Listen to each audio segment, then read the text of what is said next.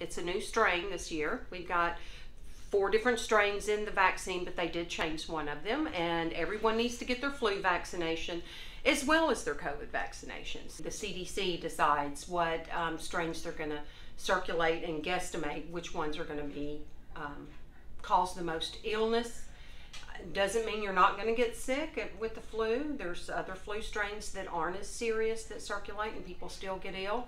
But again, they all cause fever, they cause nausea, they cause body aches, they cause the, all the same symptoms that COVID caused. So um, the best protection is you certainly don't want to get both of them at the same time. That's just double trouble. But your best protection is get a flu shot.